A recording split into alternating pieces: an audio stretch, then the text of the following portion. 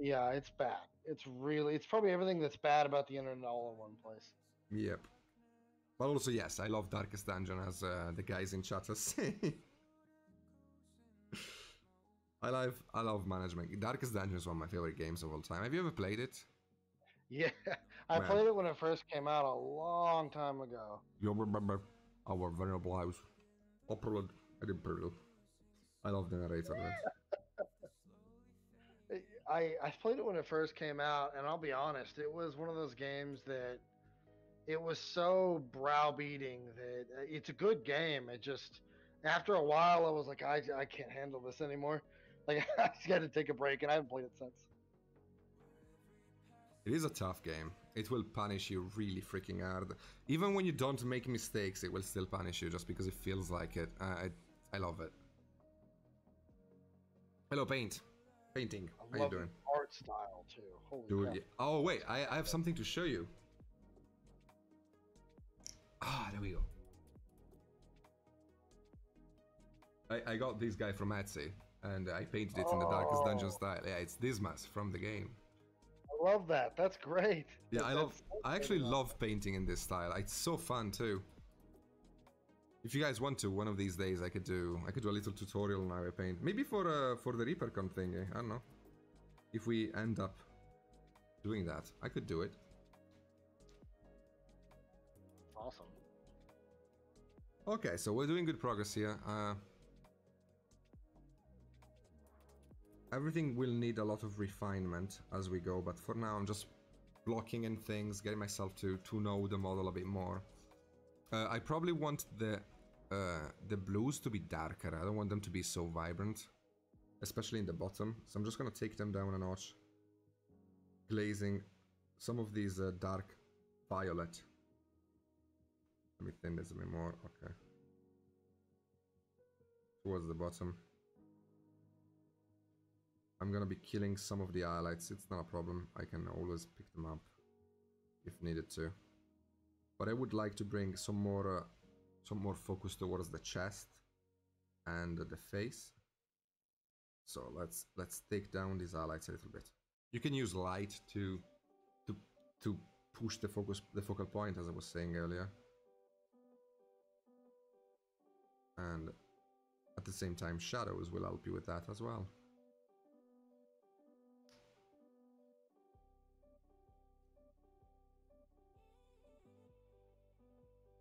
yeah reaper dragons are amazing dude do i still have trunks i do actually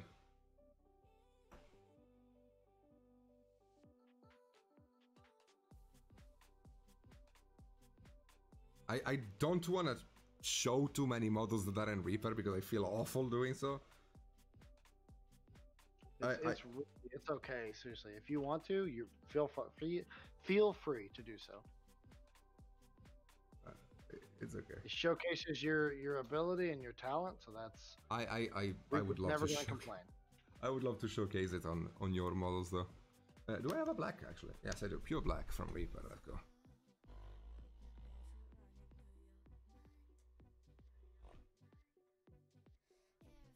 Shouldn't you be in bed, sir? No, it's uh, it's 11 p.m. It's not very late.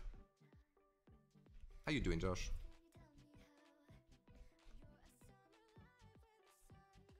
This is the, this is the trunks the guys were talking about. Uh, this is my anniversary gift for my girlfriend. Actually, she loves trunks from Dragon Ball, and I I I got an action figure and I repainted it to match the anime style. I don't know how well you can see it, That's that's fantastic. I love that. but this is the cel shaded style. Zoom in on the face. Uh, sure. Yeah, sh- yeah, the cel shaded.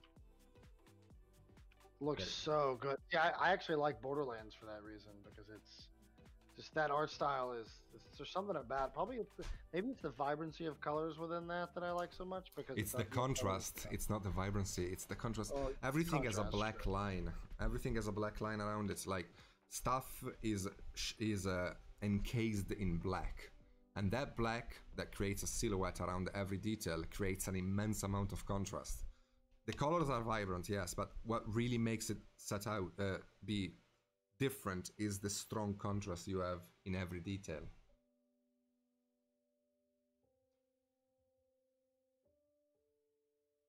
Thank you, guys. My perception caused this great foulness, and it is shameful that I must rely upon you to set it right. Trinkets and bubbles, paid for in blood. Sorry, I'm just quoting Darkest Dungeon. Damn you, Kiwi.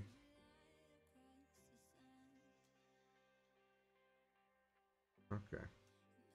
Okay, let's try to give it a touch more light to this tail. It's gonna make a mix, a quick Naples yellow, and just boom, highlight.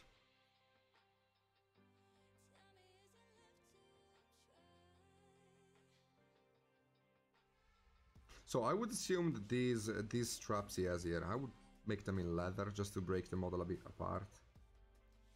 So I'm just gonna leave them teal for now, but I'm gonna change the color later on when we get to it.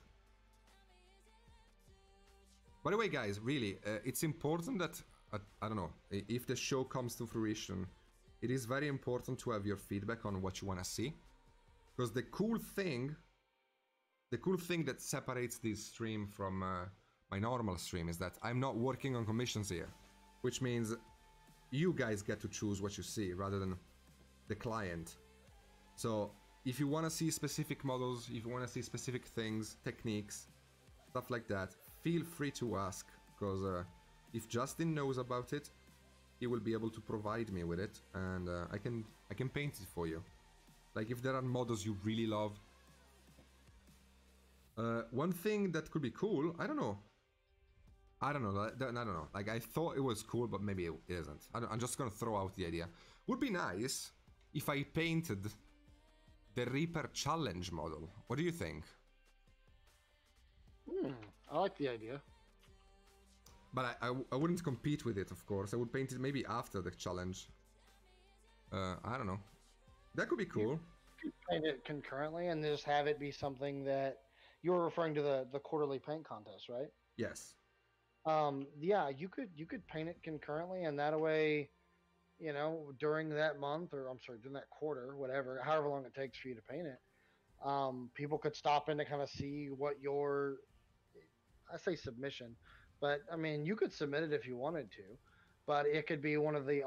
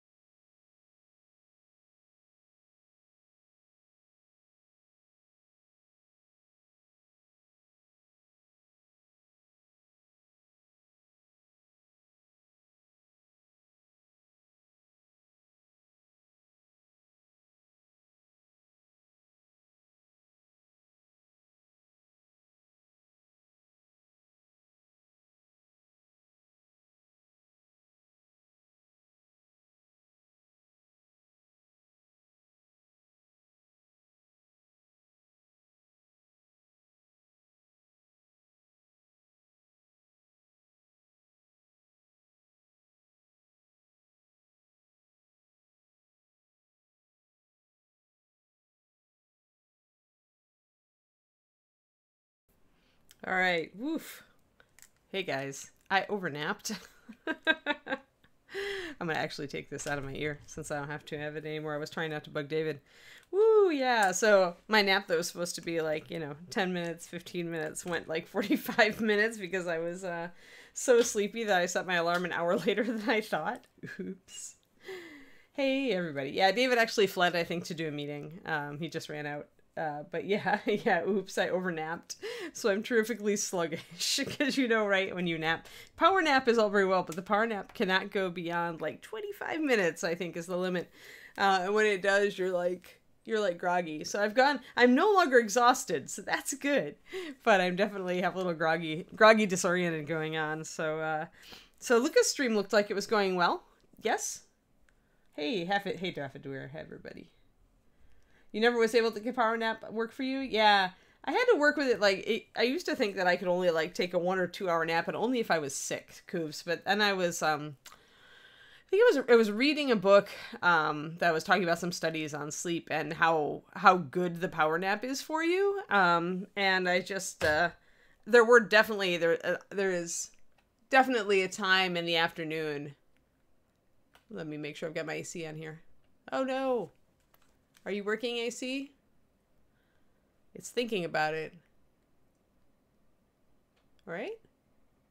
Maybe. We'll see if it's working. But um, there was a time where, where there's a time in the afternoon where I typically feel really sluggish and really low energy. So I thought, well, power naps can help me get around that, I'll do it. So I just uh, started kind of training myself. I'd set my alarm, uh, and I've yeah, it's weird, but I find a ten or fifteen minute nap is really really good in the middle of the day. Good afternoon, everybody. Luca being Luca, he's a really nice guy though. Like I like his I like his uh, style. I like uh, the way he tackles stuff. Actually, he's very European, but he seems very laid back European. I know so many like European painters who are who are more like I don't know, more like my way or the highway, you know.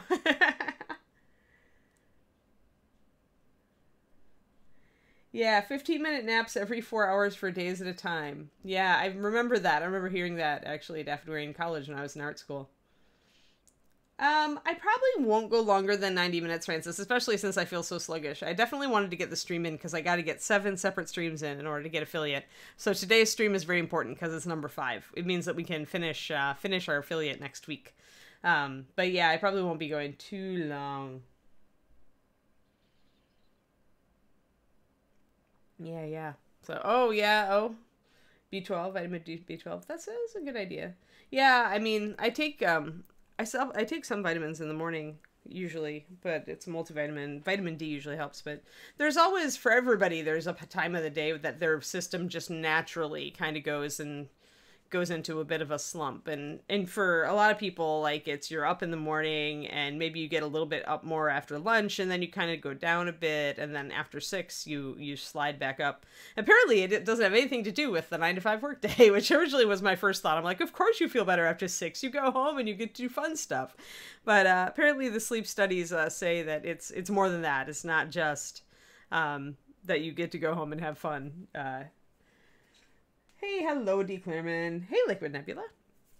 So I was looking at this model, and I think the first thing I've got to do is really pin the arm on here because it's actually this is the arm. Let me go down and get to my uh, my actual live scene here. Wee, there we are. So I uh, have the arm here, and uh, I realized that I thought it was more to the side, but it's actually a little bit more to her front. So I really need to worry about the positioning then of the shield on it and the positioning relative to her and the horse. And I'm wondering if I'm going to have enough room for it. Um, I think I will. But I wanted to see it because I might not. I might, if I did this, I might have to actually hang it off of her hip or something. Um, which wouldn't be thrilling, but it would be an answer. Either either way, I want to pin her arm. I may actually need to repose it a little bit uh, if I want this shield on it. So to, to kind of dry fit everything, it's useful to pin things. Uh, let's see here, what do we got? 51. Right. There we are. We got to get our, our 0.51 millimeter to go with our appropriate drill bit. Where is my uh, pin vise? There it is. Hey, Karniko. Well, I hope you guys enjoyed Luca. It's very nice that Luca like uh, wanted to focus on Reaper stuff. It's it's also cool that he's uh, that the stream he does for this uh, for us won't be like commission work. Like it's apparently his other stream is all just commissions, which I get. Uh, I've mentioned to you guys. I think that this stream helps me to. Hmm, this is gonna be interesting. Uh, this stream helps me to focus sometimes and get through projects, and that's kind of fun. Okay, so this is interesting because in pinning this, I'm forced to adopt a particular angle because I have to be able to pin it around the knee here, and there's not a way to get, see, there's not a way to go straight into that socket. The leg is in the way. So I'm going to have to do it obliquely, and I have to kind of judge whether I want it, want to go at it this way or that way. Like, which angle is going to be better. So I'm going to look at this and I'm going to say, all right, so if I want, if I do decide that I want to swing this arm out a bit, what is going to be the better angle for a wire? Here, pin vise, sit, sit, pin vise, stay. All right, so if it goes in like that, and if I want to swing it or I want to pull it out, I might need to clip off that bottom armor plate if I want to really swivel it.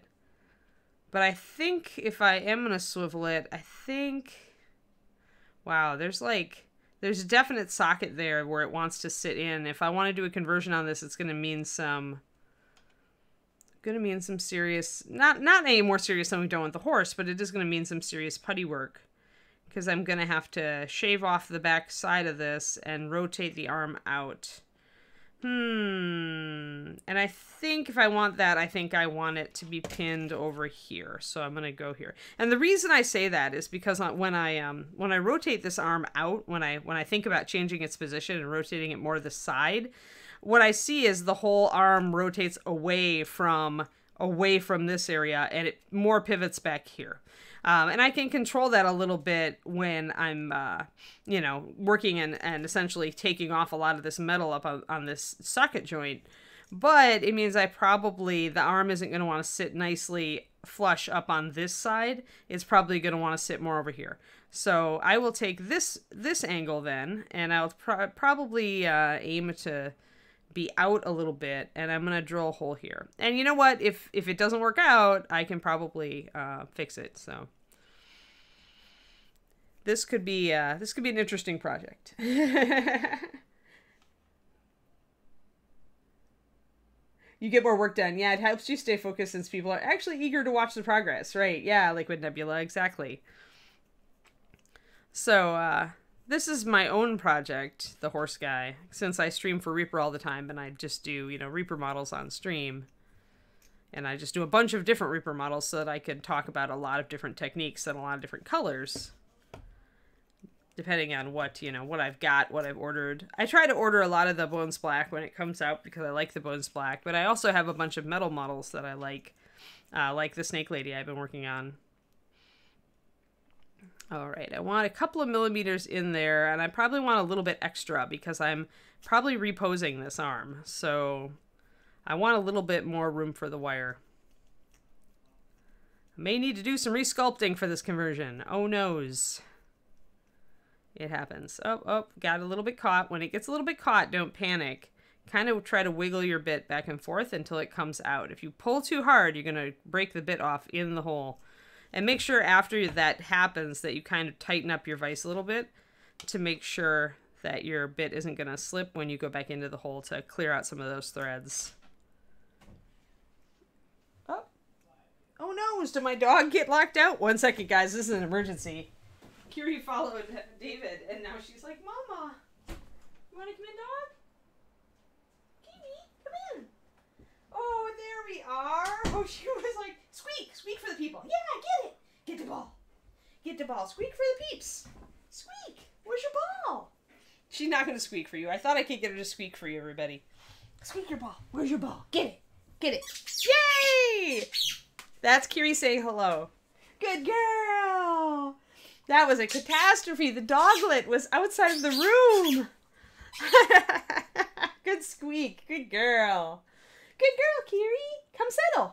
Come here. She's so funny. What? I let you in so you can hang out with me. Now why are you over by the door? dog. Silly dog. And uh yes, pupper emergency of the of the different kind, right? Because usually it's the oh my god, I've got to rush the dog outside. Hi, pretty. Come here. Where's my girl? There's my girl. Hi, face. How you doing, happy face? Good girl. Yay. Why'd you follow David? She's like, he was doing something interesting. While you're in the middle of a work meeting, my mic wasn't muted. Yeah, it's happened to David Coops. Because I come in to do something in here and she'll get excited that I'm coming into this room because she loves this room. It's like her den. Um, probably because we both sit so close together and then it's cozy and she has her spot too. So I think that's why she likes this room. But uh, but yeah, so she was squeaking her in one of David's like Google meetings. So I'm like, oops. uh, yeah, squeaky ball for the win. She does love her squeaky ball. She's always loved squeaky balls. It's one of it's the Kiri toy. All right, so now I have to kind of look at this sucker and I got to ask myself, all right, Anne, you've got that. But now you have to kind of think about where your wire needs to be. And I think it's going to be a little bit... Hmm. I think a little bit off kilter. And I think maybe a little bit. I'm kind of thinking, just looking, and I have to eyeball. This is a hard one, right? Because you're changing the position of everything. You haven't cut anything yet, but you want to kind of get something close. And so I'm looking at where I drilled it. I'm looking at how I'm likely to angle the arm a little bit to get it out. And I'm probably going to actually turn the arm out like this a bit and angle it. And so I've got to probably drill right into kind of the top side of this sucker, that little, um, that little area. And I think I'm probably going to have to flatten it to do so because obviously when you've got here, let me get this close and get it in focus. In focus. All right. So when you've got this little arm and you need to need to to rotate it out, right? So I've got to get this pin kind of coming out of this area here and since it's a small area and it's convex, it's really hard to seat uh, the drill bit in there without it slipping. And so I may one one tactic is to actually slice it off so it's flat and then drill down into it because you don't need this nubbin anymore, right? Um, and the other option is to just try to drill into it normally. I think I'm going to try to slice it a little bit off. You could also use a file. A flat file would work pretty well for this um, to uh, just kind of take it down to more of a level surface so that you can pin into it a little better. Let me see. Ah, that's a nice flat file. Big flat diamond file. And uh, just kind of flatten a part of it. Making it flat is going to make it easier. You just need a little bit, really. Yeah, yeah, working from home. Yes, which is actually I gotta say, when David finally goes back to work, I'm gonna miss him. Like he's been home working from home ever since I moved here, so I'm used to having a David here all day. It's gonna be very odd when it's just me in the apartment all. uh Right, I think I got it the right angle. All my, me in the apartment all day. I was saying, so I think I got the right angle. Looking at this, looking at how I want to go, looking at where that is, I think I actually might need to go a little flatter. I'm just, this is really just eyeballing it. Trying to eyeball it and get it close. All right, I'm going to try that. I think I'm going to try to go for it. All right, one more time. Let's look at it in the mini. Kind of watch where my little hole is up there. Rotate, rotate it out, kind of eyeball. Yeah, I think so. I think it's okay. All right. I'm going to try to hit the top of this with my knife. And I'm going to use my knife just to create a tiny little divot. And this is where the flat surface comes in very nicely. My knife isn't going to skid off of it. Now I've got to judge my angle. So I have to put my drill bit in there and I've got to kind of think about what my angle is going to be when I tilt, when I go and here I'm going to compare it one more time. I really don't want to be too far off. I don't want to have to do it again. So if I want it to fit out like that, and I've got it going up and in, all right, I think I'm good. We're gonna we're gonna just go for it. We're gonna go for it. I'm gonna end up like doing that. I think. All right, so we're gonna kind of use our gut. And one thing you can do, by the way, is you can go straight into the arm for the first like half a millimeter just to get a hole established. And then you can slowly turn your drill and put a little bit of pressure on it so that you're more at an angle. I'm going to shift it now. But going straight in for that first tiny little bit, again, helps to set your drill. Now, I'm just going in probably, I think it's about a millimeter. Let me check my depth here. Oh, Oh, it might have skid. Might have skidded.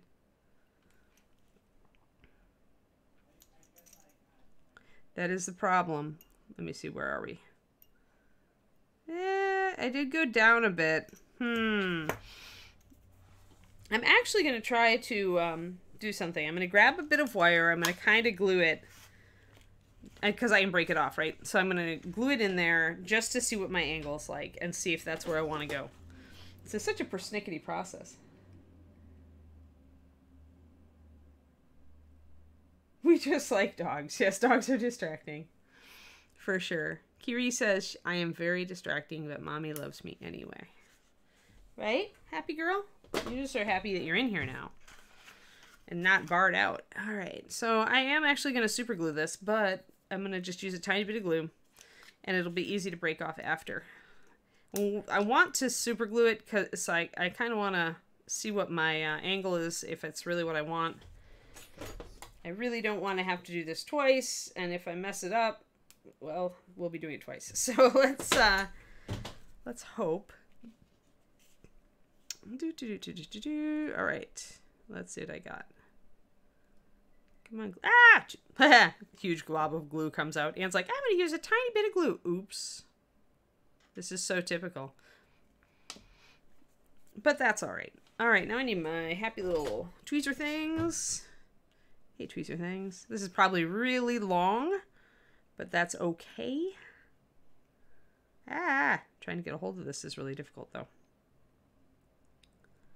Let's see here. Let's see if I can get this to kind of sit. Ah! This is going to be the comedy of errors as Anne tries to do really fine work when she's like super sleepy from overnapping. Oh, the other thing I loved about Luca's uh, Luca's stream is he's like, "Oh, 11 p.m. This isn't late at all," and I'm like, "Snooze." I'm such such a early bird, early night person. Like, 11 is like bedtime. I should I should already be like on my way to bed. And I may not have a deep enough socket for this to work. I really wanted to trial this, but I do not know if I'm going to be able to. Let's see, maybe I can hold it in place. But it is definitely fighting me. And it's definitely in kind of a wrong position too. Yeah, the more I look at it, the more I'm like, hmm, I think that I need a, a deeper drill a deeper drilled hole on this arm. So, all right, so I'm gonna look at it again and see how I've screwed it up, if I've screwed it up. All right, there we go. We're going up, we're going in, we're gonna turn it, we're going out like that. I'm gonna, you know what? Heck, like, heck with this. I'm just gonna trim this. I know I want it out, I know I want it gone, so I'm gonna trim this section off of the arm. This little nub here. To make it easier for me to rotate it. There's only so much you can do before you start cutting bits off. It's just that kind of day, guys. We're just going to cut. Yeah, then you risk gluing it to yourself. Exactly. That would indeed be par for the day. I don't know why lately I've just been... My sleep... I have been sleep challenged for like the last week and a half. I do not get it. Normally I am a good sleeper. Or at least a relatively good one. All right, so cutting that little nubbin off actually lets me seat the arm out a little bit. Um, so that's good. So that lets me rotate it out instead of putting it across. Or normally, remember, it goes like that. But now, I, now I can rotate it a little better in the socket and not lose the armor quite as badly. So, but now I'm questioning, like, really, do I want that angle or do I want a little bit more? So I'm gonna, I'm gonna actually flatten out a little bit of what I've done because I think that the angle that I chose originally was not an optimal angle. So I'm just going to file off that little uh, indent. And remember, it doesn't really matter if we lose this uh, this little socket, the little nubbin that goes into the socket, because we're pinning it. So we're already going to be putting more support in there than this little ball and socket would give it. So it doesn't matter as much. Do do do. Flatten out the top. erase previous problem. There. All right. Now, now that I've got that and I've got that, the better way to do this would probably have been to, uh, yeah, I think that's pretty good. Would probably have been to put the the pin in here first, but I didn't know if that was going to work for me. Yeah, nail polish remover. Uh, nothing, Gurgi. I've actually been uh, messing around because this is a really rough. I decided I had to pin this arm to really see where I wanted the shield to go because uh, I realized her, her, arm was more across her chest than I wanted it to be. Uh, so naturally, she'd be doing this, but then the shield would be like really, it would get in the way of her leg. It would get away with, you know, it would get in the way a lot. So what I decided I wanted to do was rotate the arm outward, And to do that, I'm definitely going to have to pin it and I might have to re-sculpt part of it. But I want the arm out so she's more like blocking with her shield toward her back and then, you know, pointing her, promising she's going to decapitate somebody on the right. Um, so yeah, so that's where we're, that's where we're at. And so I, I dry tested a pin, decided it was at the wrong angle, sliced off part of the uh, the armor arm protrusion here to make it all work a little better, and now we're about to repin. That is all you missed. Oh, forgot I need my knife. Forgot I need my knife. Hello, hello. All right, let's see here. Let's just go in the kind of the middle of things now, because I think that since we sliced off part of the arm there, we're a little bit better. So remember, use your use your scalpel blade. Take a firm grip on your arm, and just spin your blade a bit. Give yourself a nice divot in the metal to, to drill into. And I do this for plastic minis and resin minis if I'm pinning. Um, yeah, she is a. I mean, she is a really nice sculpt.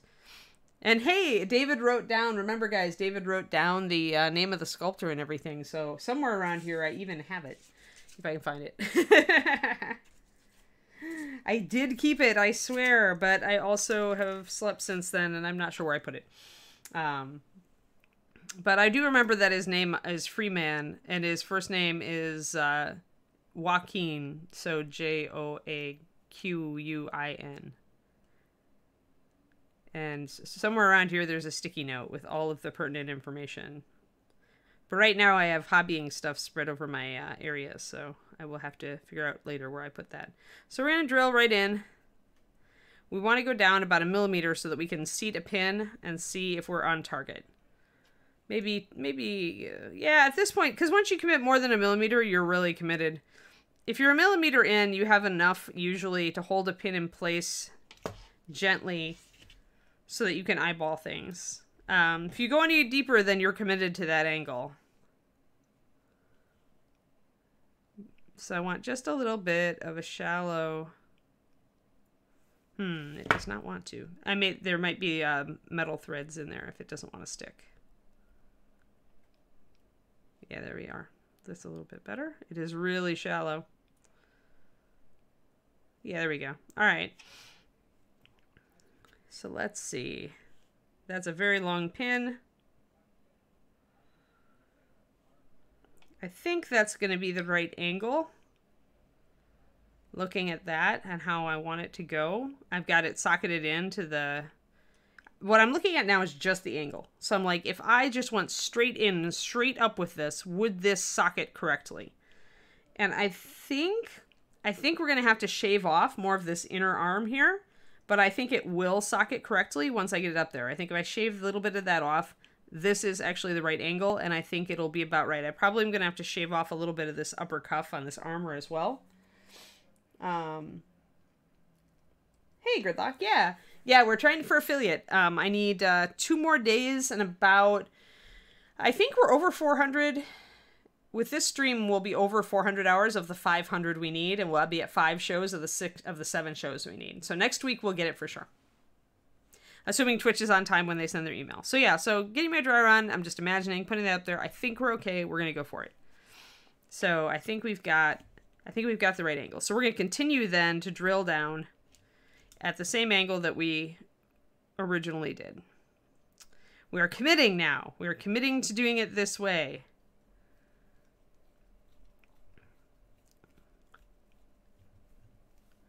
Because when your pin, when your hole is still pretty shallow, you can kind of tilt your pin vise a little bit here or there to try to adjust an angle. Or you can uh, bend the pin just slightly to make it fit a little better.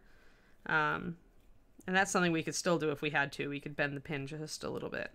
But you don't want to bend it too far. You're going to um, definitely make it more liable to break, more fragile. And the last thing we want after doing all this work is fragile join.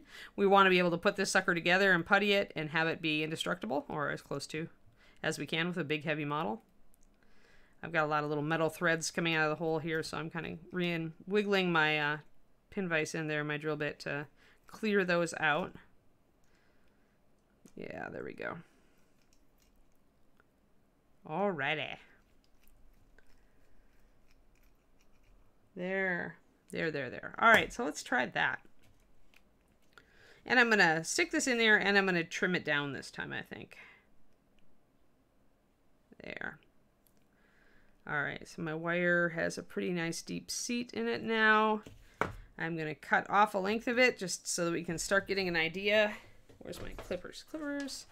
And I always use brass rods so I can use just regular hobby clippers and I don't have to go for the heavy duty nail cutters. I don't so much mind wasting little bits of brass because I've got, you know, a mile of this stuff. so so my beading my beading wire is going to last me for a very long time of pinning. Um, especially since so many 3D rendered models are so well um, socketed anyway that you really don't need to pin them. All right, so let's get that in there. All right, now I'm again, I'm reassessing. I'm looking at the angle I think I want. I want the arm out, remember, not across her chest. Normally it would be more like that, and I don't want that. I want it out here. I want it going up. If I have it out far enough, now I can grab my shield, kind of hold it up. And this is actually a good angle, and you know why? Because if you look at it, see how this is a really flat plane right here. From the back of her arm up that shoulder is actually a pretty good straight line. Even if I make this come out a little more, it's it's perfect where it's all in a straight line. And that's great because it means the shield is going to successfully sit right over that shoulder pad very nicely up against the arm. In fact, I could even pin it twice. I could even probably pin it to the shoulder pad. What that means, though, is that uh, I'll have to definitely paint that stuff under there before I attach this arm. But that's fine. That's why we're doing a pin, so that we can just dry fit it. We're doing all this. We're going to essentially do the um, sculpting of, like, the leather straps on top of the, or, on, you know, we're going to do the we're going to clean this up and sculpt over that hole in the middle and we're going to add like a strap over her arm so that we can uh, make it work. So kind of like that. I want her to be kind of like that.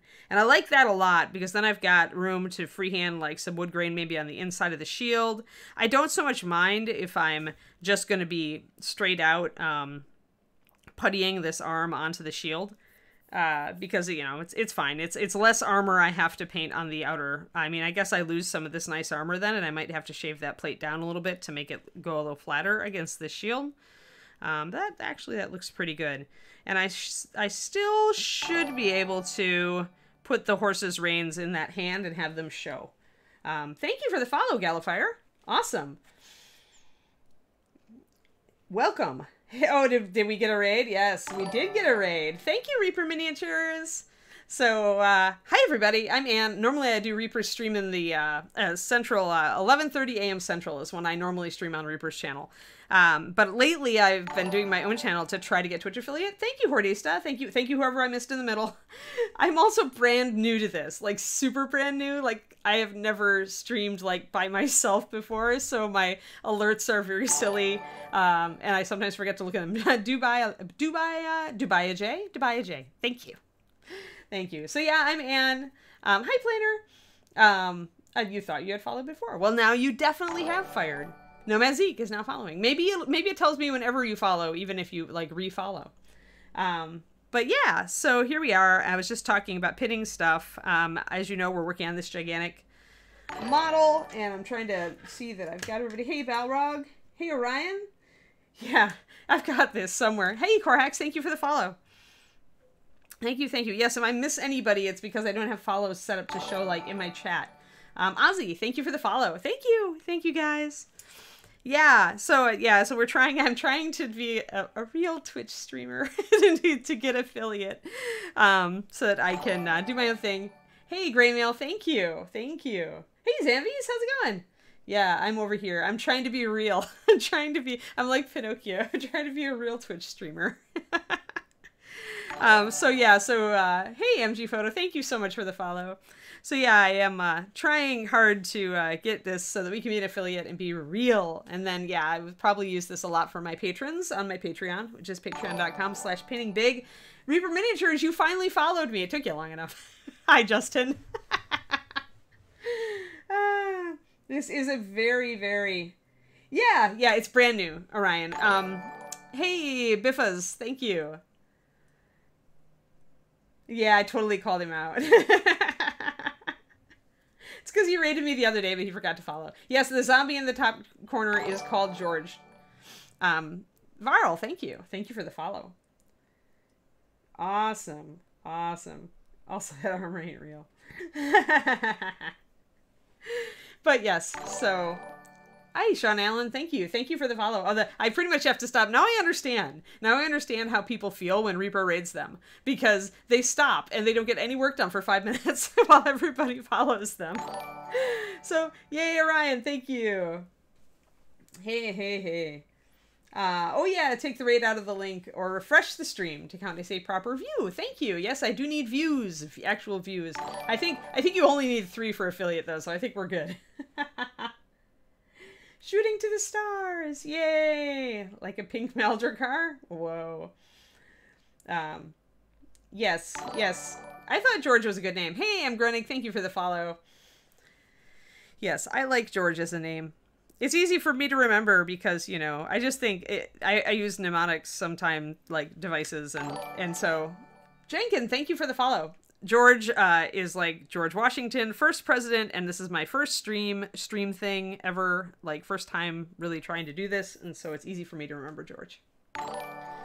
And itch, itch been wow, that's a name. itch, itch Keinbein. Itch, boy, I'm bad. I'm terrible. You can tell I didn't take like German ever, if that was Germanish. The ein made it look German. But your name is awesome. I just can't pronounce it. Like, this is why people come to ReaperCon and watch me do the award ceremony because when names come up, I butcher them. Like, there's always somebody. And lately, they've gone to tormenting me where they try to make really, really hard to say names so that I have to stop and cock my head to one side and go, when I'm trying so hard to keep the the uh, award ceremony moving because we've got like a thousand models or something. Um, thanks everybody. But yes, this is the comedy of Anne totally mispronouncing your name. Yeah, well, I just started Corhax. I just, just, just started. What happened um, was that Justin had something come up two weeks ago on Thursday, and so my stream he canceled it at the last minute. So I'm like, well, you know, I'm up, I'm ready, so I may as well stream on my channel. So I just went over and and tried to stream on on my channel, which was our first stream. Uh, and then I was like, well, I only need seven streams to get affiliate. And at this point, I'm, i should just keep it up, right? So I'm pretty much streaming on Tuesdays and Wednesdays. Um, I try to time my streams to be like after another stream. So like on Tuesdays after Crow's Nest. And if, uh, um, if, um, if we if miniatures den uh come if luca wants to do you know it makes the reaper thing on wednesday into a regular sounds like it's gonna be a regular thing i probably will go after his stream um, to make sure I don't like to ever piggyback too much on Reaper streams because I want I want you guys to be watching Reaper streams too because you know eh, Reaper Reaper's doing well on streaming, but to continue to do well on streaming so the bosses continue to let us do it. Justin fought very hard uh, for a long time uh, to get Reaper to establish a Twitch presence, um, and so what keeps that going is you guys' dedication and excitement about the channel. So I definitely never want to take viewers away from Reaper. Hey, all right, let's see. Oh, yeah, thank you, thank you, thank you for the Patreon link, patreon.com slash painting big, just like the dragon on the screen. Um, but yeah, Ika, I don't even know. Ika, Ika, I think you're just going to be Ika. But that sounds so sad. Eating, or farting shrimp? Well, if so, um, I don't envy your roommates farting shrimp. I can take fart jokes, though, with the best of them, because I have Crohn's. So when you have an intestinal disorder, fart jokes no longer faze you. Um, uh, I don't think views later count Orion Noir. It's it's a current one because Twitch doesn't care so much about VODs. Uh, it cares about current viewers. Um, you know, I don't know, Jetta Rose. I did think about offering to do a virtual award ceremony for the painting contest, but I don't know if they're going to take it, take me up on it. I, I actually have to email Adrian uh, and see if it might be it might just be too much who knows um let's see here yeah that's what i thought planar they don't um oh yeah yeah yeah. Even if you can't watch it i leave it up for the views that's sure. Um yeah twitch presence re-engaged you in the reaper projects? Well good good orion. That's fantastic. That's fantastic so, all right, so here we are. So, what I've been doing, for those of you who are new, which is many of you, um, and thank you, by the way, for everybody refreshing and going. I see I've got 104 viewers now live. That's all. I think that's a new record. I've never been over 100 before. Thank you. So, okay, first I'll introduce you to the mini. Oh, hey, I did find the. I see, this is why I have no brain cells, guys. Where's that sticky note with the sculptor's name on it? Oh, right on top of the box for the model. Um, so that's the sculptor for this. And it is a Andrea Warlord Saga model. It's actually quite old. It's a it's a metal slug, and she is here. Let me get this uh, zoomed out. Normally I have it zoomed in. So it's Zorabeth that I'm working on. I just I don't know what well what what made me get her out the other day is that she's sculpted by by uh, Joaquin and uh, David is also working on a model, my boyfriend. Uh, Walking Harder. Oh, that's a good one. That's a good name. Uh, thank you for the follow. But uh, he started working on a model sculpted by the same sculptor, and it was a big mounted model. He showed it a bit yesterday. Uh, it's a big, like, dinosaur dragon. Sky Daddy! Hey! Hi, awesome! I'm really glad that you're following. Thank you. I love your body art. I love it. I love it when we raid you. It's so awesome. I always tell people to look at your highlights, especially like on face and on the the uh, collarbone region and the shoulders, because it's exactly like we paint miniatures, right? So this is the model we're working on. She's 54 millimeter, which means she is a giant slug of metal. And the, she's on a horse. She has a big old war horse, which is really cool. Uh, yesterday I was working actually on sculpting um, some of the hair on the horse's tail, filling some gaps. Uh, today we are working on. Oh, and for those of you who did see yesterday, I actually did come up and fill the gaps on the ears with the last of my green stuff, so I sculpted some more hair up there. But I wanted the tail to look a little more swoopy back here, so I, I wanted that shape. Um, but now today, what we're doing is we're reposing a shield arm. So she's not, she does not come with a shield, but I have, uh, I'm going to paint her as a bit of a dark Valkyrie and I want her to be like I want a dead guy casualty model on the base. And I've got one, and he had a shield, and I'm not going to use it because he's dead and because it used to be it was meant to be on his back. So I thought I would take his shield and give it to her. Um, but to do that, I realized when I was looking at it today, because her arm normally is way across her chest. And so to do that, I need to repose the arm. And so we're what we're doing then is we're pinning it. We're using a bit of brass rod uh, to repin it. Oh, thanks, Sky Daddy. Uh, I am not a sculptor. I am a painter. Hey, wait, let me show you what I do. So, Sky Daddy, let's see here. I was Reaper's staff painter for a long time. So let me get closer and let me zoom in and get, well, she's pretty close actually. She's pretty close. So this is a Wraith that I did last time. But yeah, I'm not a Reaper staff sculptor. I'm a, I'm a Reaper staff painter. So other sculptors do all this stuff, but I uh, I paint them. So I wanted to paint this wraith like she was becoming more corporeal. So that's why she's got a living part, and then she's energy um, out toward the end. So yeah, and then some other stuff I've been working on. This is a project that I was working on uh, with one of my uh, mentorees. So it's uh, Samurai. Um, another big big resin bust. Uh, so that one's in progress.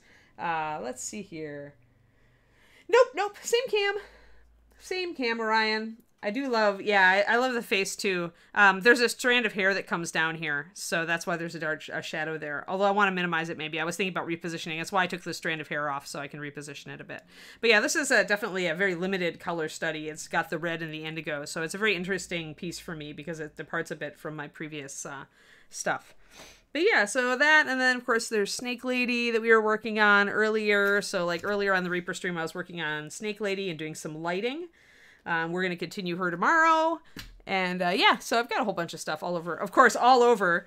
I have stuff everywhere. So yeah, so I paint.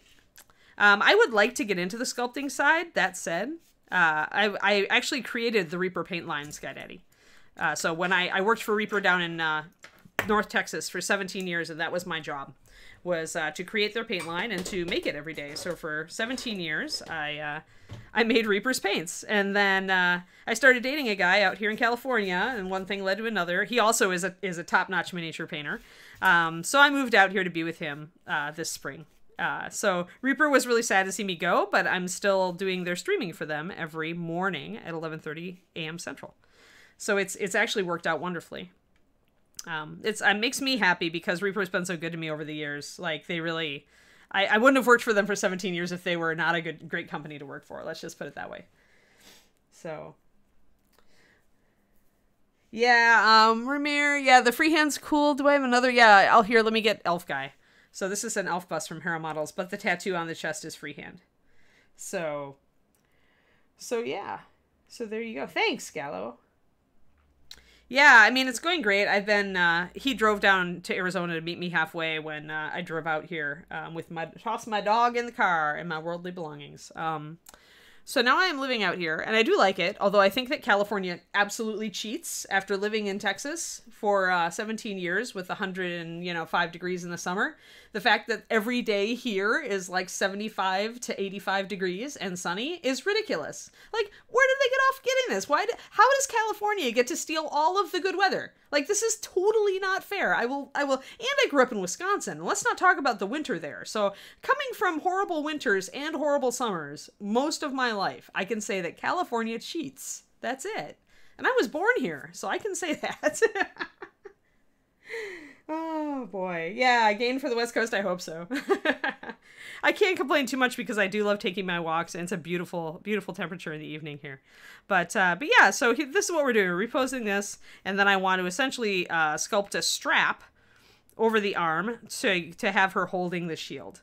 And the reason that I wanted to do this at all, not that it's not a great sculpt by itself. So if you put her on the on the uh, horse here, let's zoom out a bit. Yeah, there we go. All right, so the thing is, though, that the focal point on this model is really focused here. Like, this is its best angle for sure, right? With the horse, the action, and her, and her sword coming out. This is its best viewing angle, is what we would say.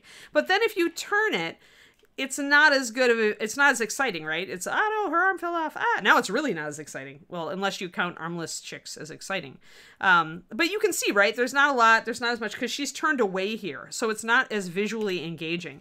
So if I can put a shield here that lets me paint some freehand designs on the shield and make it more interesting on the back side of the model. And that's why I'm very much into doing this conversion, even though it might turn out to be a bit of a pain, is that I wanted to make sure that there was something visually interesting on the model. And the reason is that if I'm painting this for me, I'm painting it to a competition level standard, which means it probably will get entered in a competition at some point. And one of the things I think about when I'm doing that is I'm looking at the model from all angles and making sure that it's interesting. So on the back side here with the cloth, I can probably do some freehand back here. She's also got some wings that come out of her uh, her armor, armor wings that come out in the back uh, that I was thinking about making bigger to also make a bit more interesting and making giving give me a bit more room for freehand up there. Uh, so I'm always thinking about is it is it interesting from every angle, not just in the composition of the sculpt, but in visually, you know, in the paint job. Can I make it interesting? So, uh, oh my gosh! But I hate wings, Nomad Zeke. this is the great irony. I hate painting wings. I painted so many dragon wings and so many succubus wings and so many just wing wings all of my life. And yet, and yet, I still can't wait to paint Julie Guthrie's little Sphinx. As she's sitting up top, guys, she will appear on a Reaper stream at some point, even though there are gigantic wings here that are going to vex me mightily. Um, I am nonetheless. She only has one wing pegged down right now because the other one doesn't stick very well right in the socket. So yeah, um, I mean, I guess I could steal the Sphinx wings, but the, but the thing is, she. Uh, I mean, actually, the Sphinx wings are in scale, guys. Make a note. Uh, the Sphinx wings are about 54 millimeter. Hmm. Uh, no, no, no, no. I'm not even going to think about it. I need another Sphinx. but those wings are not nearly big enough for the horse. Um, but yeah, given the choice, I mean, most of the time Valkyries are done with the winged horse, and the maidens themselves don't have wings. But I decided to kind of invert it this time. Uh, just. oh yeah, yeah. Go ahead and clip. yes, feather for me. Well, don't worry. We'll we will start on that little Sphinx at some point, uh, Nomad Zeke, on the Reaper stream in the mornings. So excellent. Let's see. What do we got? We got, okay. So it's been about an hour. All right. I really need to get this pegged in and get it to where I can actually think about it. Now, when I was originally looking at this, I did think I was going to have to shave off some more metal to make this socket right because it's going to hit her rib cage um, as it stands, I think. I'm going to continue. I'm going to continue to uh, drill in and clip down. I think I need yeah, my, my pin isn't quite set in enough. It's a little wobbly. So I'm going to drill a little bit deeper into the arm here.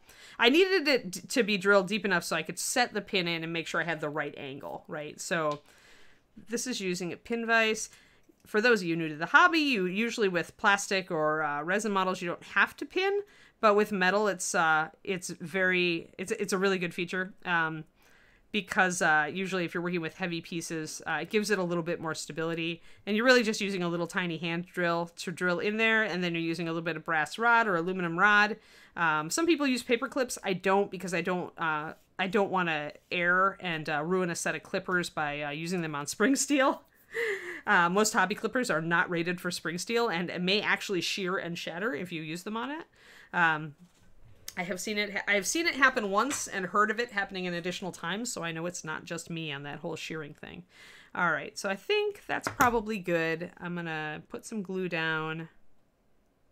Ah, you want just a little glue ideally. Uh, you don't need it everywhere. If it does go everywhere, like it tends to, I usually will take a little bit because I don't want to glue it into the socket yet. I just want to glue the pin into it because I want to be able to to add and remove this arm because I've got a lot to do with it. I'm really just testing fit right now. But I'm going to want to paint this arm separately for sure.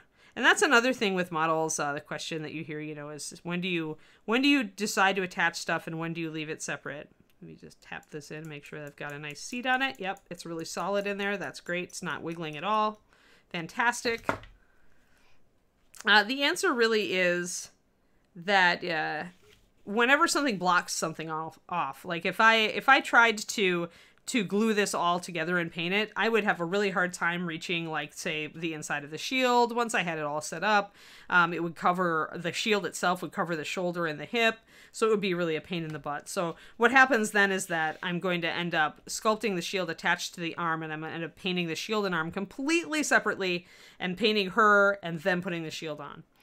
Now, I, I will keep in mind that I don't have to finish, full finish the areas underneath the shield, but I do want to have paint there um, at least one level of highlighting and shading probably um, and dark dark shading right under the shield.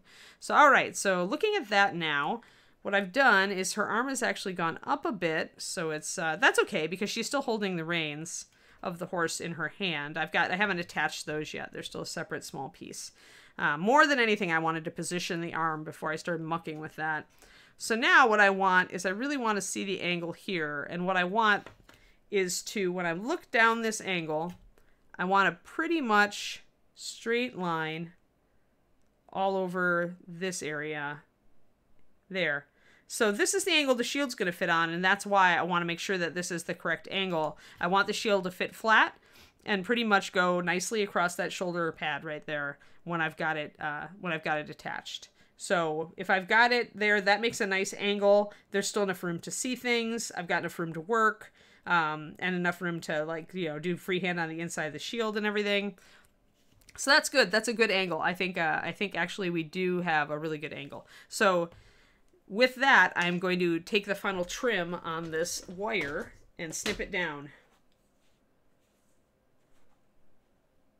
Yeah, I did do feathered wings in a very easy way. Um, like the Spirit Beast wings, I actually have Spirit Beast around here somewhere. Where are you, Spirit Beast? Uh, you're hiding over here because I haven't finished you yet. Hey, thank you, miniatures. Oh, miniatures. Hey, Luca. I just saw you. I was just telling people that I liked your style. Um, I like your uh, you're pretty laid back. You're pretty chill. It's uh, pretty awesome.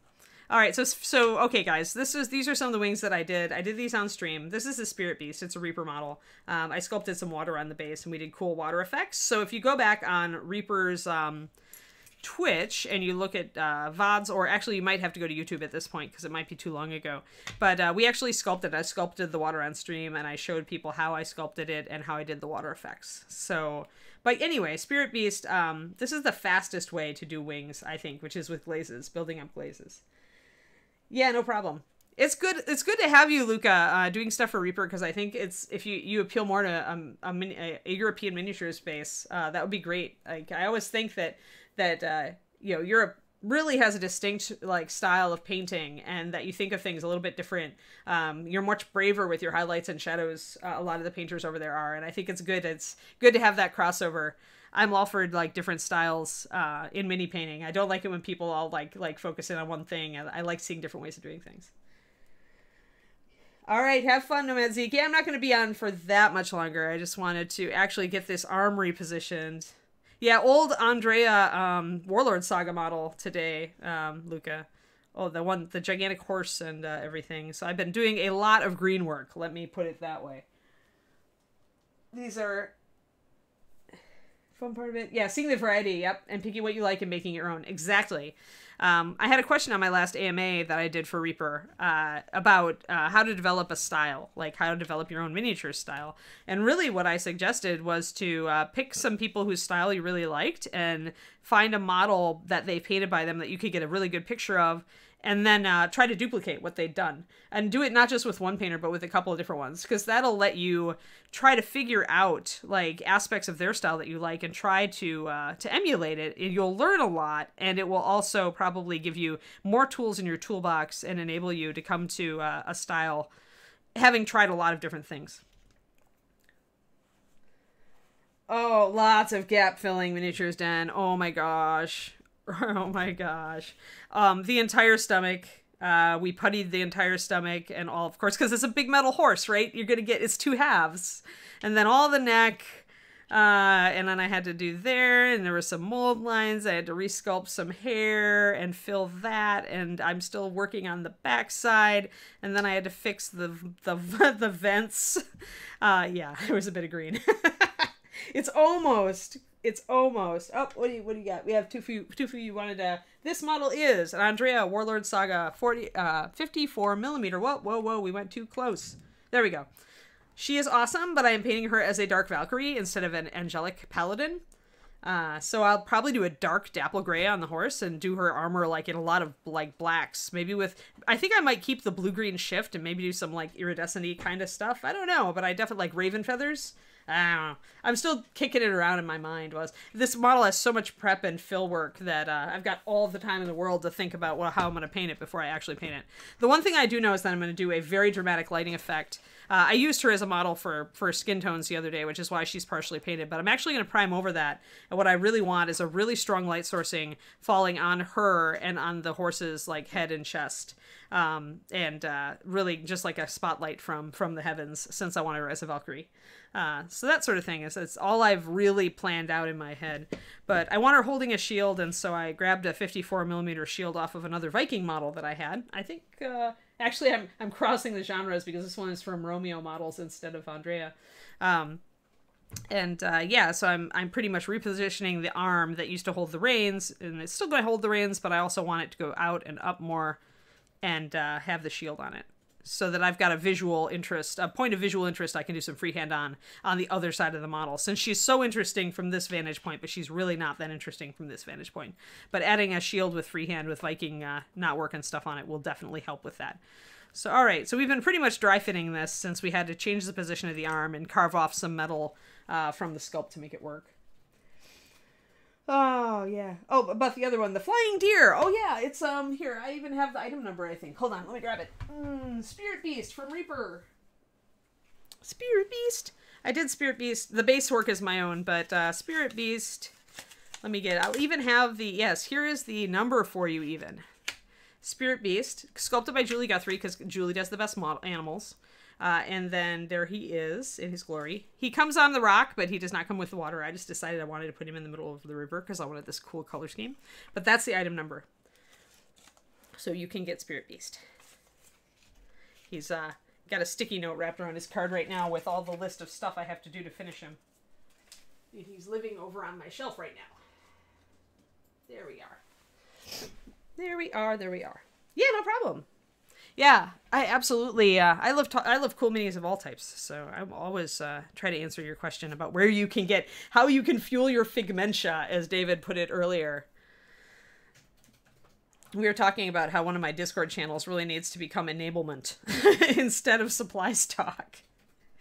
Uh, because we are always enabling each other by uh, saying, "Hey, look at this cool model! Hey, this new Kickstarter started up." All right, so let's take our snippers and snip off that wire and finally get this arm kind of pegged in and see what we need to alter. I'm going to trim off about half of it. And this is the length you usually want your pinning wire. Maybe even, you can even go a little shorter than that. Depends on how heavy the model is, how big the model is, uh, as far as the length of your pins. Obviously, you can't pin into metal too far, or you're, at least not with small bits, uh, drill bits, because you're going to uh, be at risk of breaking off the tip of your drill bit if you go in too too much. But here I've got what I wanted, right? I wanted to be able to draw a line straight up so that the shield will sit flat here. And it's a good pose. Oop, it's a good pose if her arm ever stays in, but I will not. I should use some sticky tack, but I had a sticky tack accident earlier, so now I am wary of sticky tack. Um, so let's just position this correctly toward the back. So it's like up like this. And then I got to kind of look at from this angle. Yeah, I think that's going to be good. I think that's going to be a good, good shield angle. Yeah, that'll be good. I mean, it covers up a lot of this, but it, this isn't that interesting to begin with. So, yes, I think so. I think I, I think that's where I'm going, guys. I think I'm think we're going to go with the freehand direction. Awesome. Uh, let's see. Yeah, like yes. Oh, miniatures den. That kicks the Camelot. Yeah, Echoes of Camelot or whatever it was. David and I ran for it. We totally knew we were going to. I love the Merlin and the uh the Mor- Morgana. Yeah, I was I was sold on on Morgana. Uh, and uh, then Merlin was awesome too. And uh, David likes totally different models in there than I do, but we went in together on it, and we'll probably end up popping another another one of theirs. Oh wow! Oh Galahad, yeah, yeah, yeah, yep. I was thinking about Galahad. I keep thinking about it, but I'm already doing a massive horse. Am I really gonna have enough oomph to do another massive horse after this massive horse? but it is yeah yeah it is it is amazing have you seen it in person miniatures done have you seen like anybody get a copy of it or a print or is it just i mean i looked at the renders and they're really nice and it's big child right i mean i've never gotten a bad model from big child like it's all been top quality stuff um but yeah so I, I guess a lot of people are going to be painting that one for World Expo whenever the next World Expo happens. Speaking of, hey, you're in Italy. Have you heard anything? I assume that World Expo was canceled, the one in the Netherlands, right? You've seen the cat. Oh, okay, you haven't seen the cast. Okay, it's a big child. Yeah, they never they never fail a cast. You're right. That's why I was I I looked at the price tag and went, well, it's going to be a lot, but it's going to be worth it. Um, I was curious about the next World Expo though. If they had to cancel this one, if they're going to do one next year, maybe, or if it's going to be another three. Have you heard anything? because David and I were originally planning to come over uh, for over to Europe for the next World Expo, and then we had to cancel, um, obviously, this year. There we are. And we were super sad too because I have friends in Netherlands, and so it would have been really cool. But I'll have to keep my my ears out about the World Expo thing because uh, I do want to come over. I want to I want to meet a lot of uh, our European painter friends in person. You've not? Okay, you've talked to. Okay, they're still going to do Monte San Savino, really? Unless they get another breakout. All right. Well, that's a, and that's in that's in October or November, isn't it?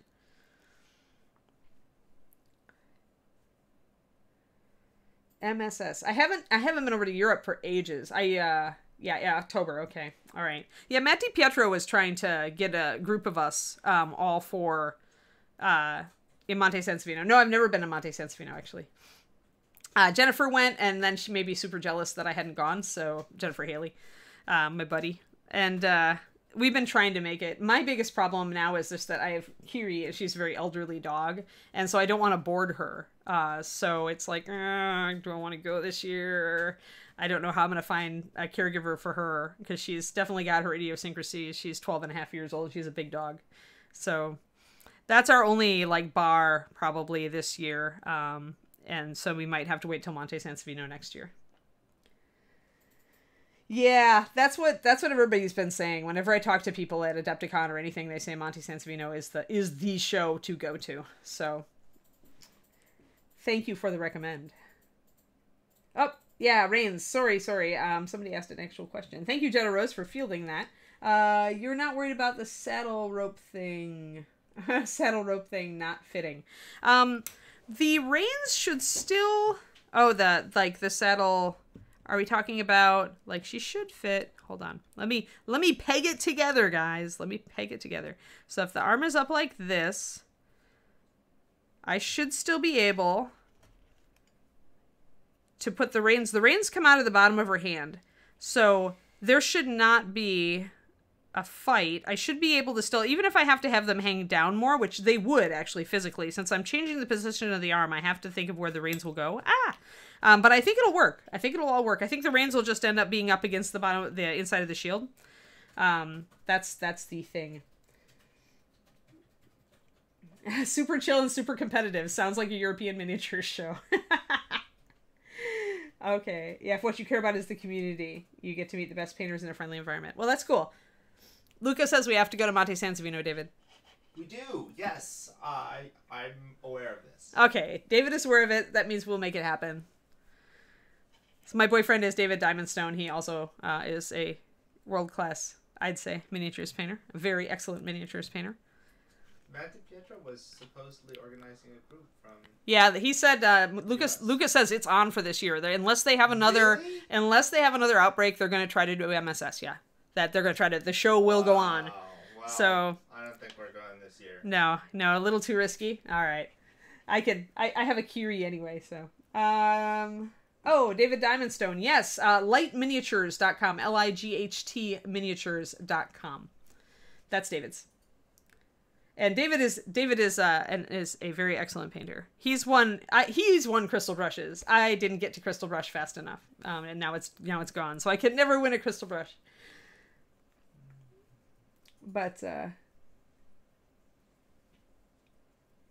oh, she has paint. Huh? Who? What? What? Oh, are you on my stream? Yeah, but she's not going to keep that paint. Oh, We're totally. I want to do. I want to do Zenith on her because I want a really, really strong light source. No, I did this so I could use her as a as a demo for the Patreon to do um like smooth painting smooth skin tones because she was bigger and so it was uh it was easier to do I a big you model. Did that just now. No, no, no. I've been working on repositioning the hand. I realized that in order to put a shield on it, I had to reposition the whole hand, the whole arm. This project just keeps getting bigger and bigger and more involved and more involved. Yes, and I mean it's a monstrous thing, so it, it should not surprise you. This, this project is getting bigger and bigger, so it's a good thing it's I'm doing it on stream. Oh, oh yeah, he's really good. Well done, Dave. Says uh says Luca. yes, we are we are uh, what is it? The mini painting power couple? Yeah. Yep. So, and the sad thing is that we only started dating, like we started dating at an Adepticon. Um, but then COVID came, and now we haven't been able to go and go to do the cons together and go to all the competitions, which is kind of a bummer. Yeah, Althai there is my uh, my guy is David Miniatures Den. Sometimes he unnerves me by watching my stream. He's sitting across from me. Sometimes he's like, "Oh yeah, Wait, who's doing CB again? huh? Who? What?"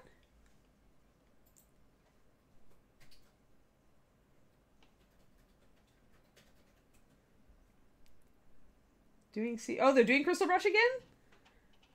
Where? Oh, are they doing it like CMON Expo or something? Because I did hear a rumor that they might try to rebrand it and do it as CMON Expo, or does or did they sell it? Like, because they weren't interested. The parent company for CMON was not interested. Last I checked, in uh, bringing that competition back. The website hasn't been updated since 2018. Well, you really need to update your website then. You've done so much like awesome stuff since then. Or their website. Their It's their website. Okay, your website's been updated. Yeah. You've heard from a trusted source they're working on redoing it. All right, so they're Uh-huh. gonna keep it, huh? So they're they're actually like CMON is gonna keep it. Uh, you need an Instagram too, he says. I have an Instagram, but I don't use it very often.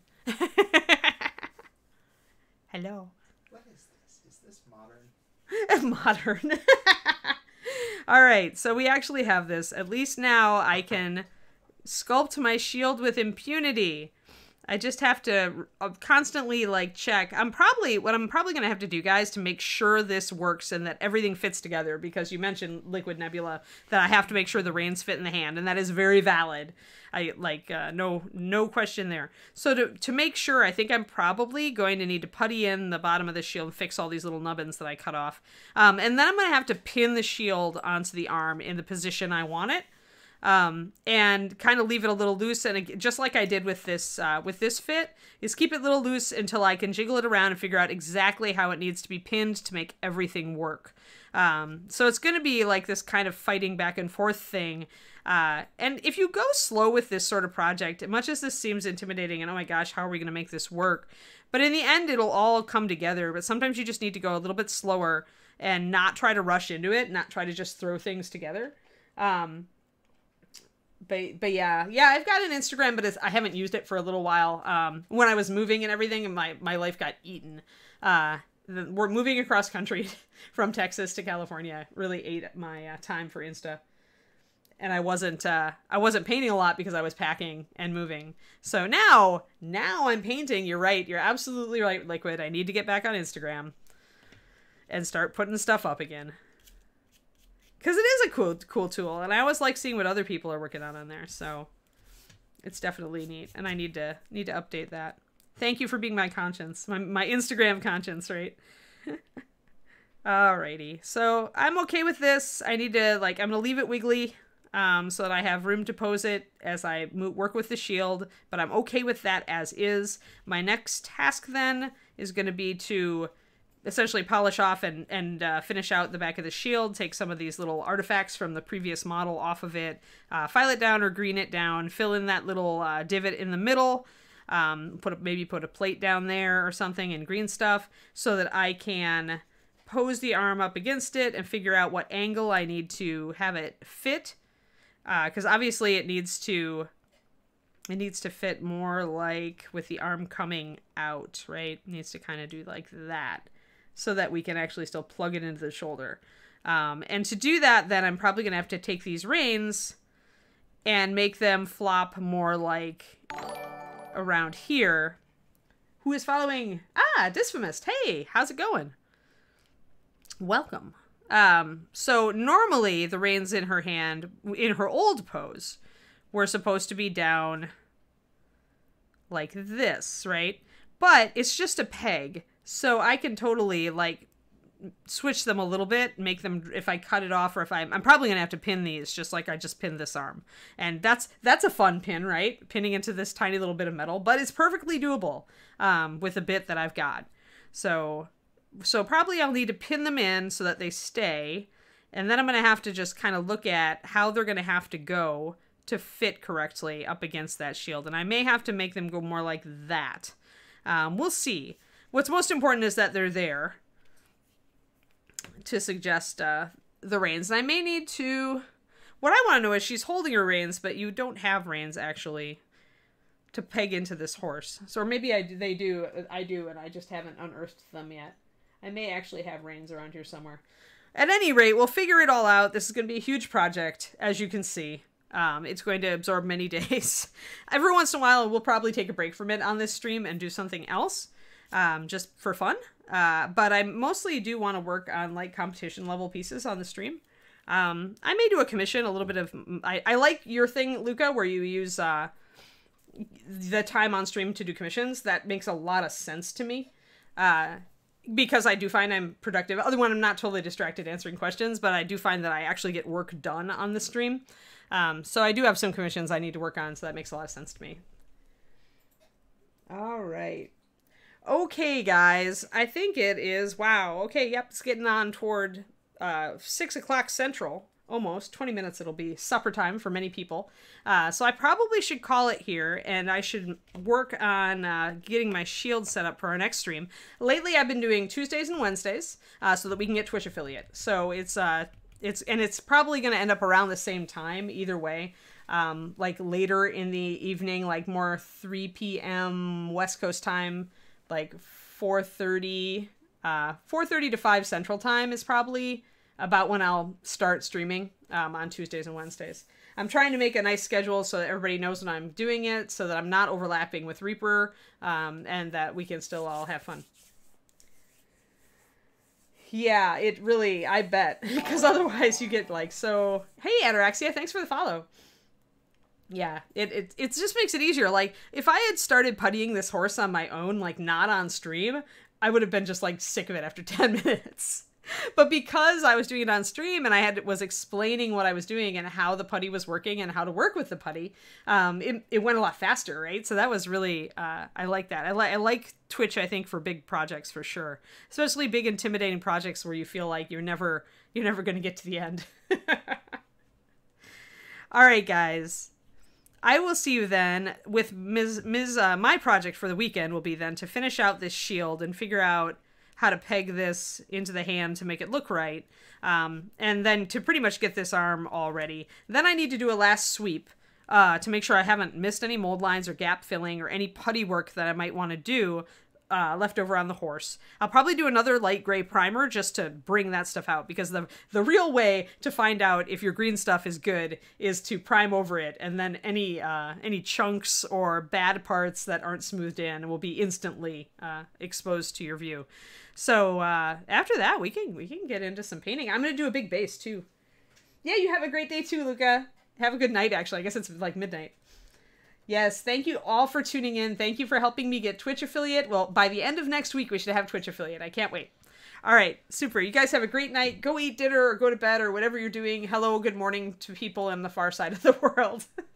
we will see you all next week, and I'll be on Reaper tomorrow at 11:30 a.m. Central. All right, have a great one, everybody.